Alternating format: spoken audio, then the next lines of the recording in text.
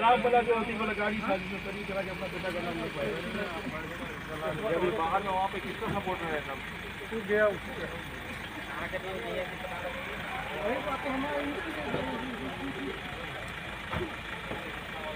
सलाम से खुटौना प्रखंड मुख्यालय स्थित प्रशिक्षण भवन में हुई मत्स्य जीवी सहयोग समिति के चुनाव देर शाम तक वोटिंग का काम जारी रहा। मतगणना का कार्यक्रम देर रात तक चलता रहा।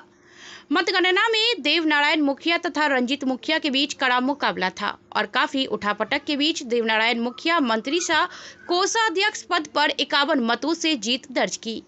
हार की खबर सुनते ही विपक्षी लोगों ने एकजुट होकर प्रखंड मुख्यालय के मुख्य द्वार पर लोहे से बने मेन गेट पर महिलाओं को आगे कर दिया तथा ग्रिल को तोड़ना शुरू कर पीछे से लोगों ने ड्यूटी पर खड़े पुलिस कर्मियों पर पत्थर बरसाना शुरू कर दिया।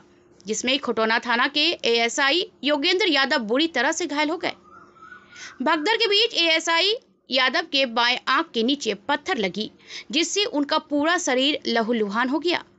भीड़ को तितर बितर करने के लिए पुलिस को बल का प्रयोग भी करना पड़ा।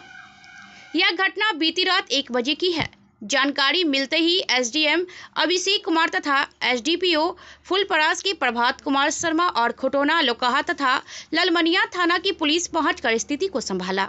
बता दें कि कुल 721 मत पड़े, जिसमें देवनारायण मुखिया को तीन सौ बहत्तर तथा उनके निकटम प्रतिद्वंदी रंजीत मुखिया को 321 मत मिले और 28 मते भोकस भी गए।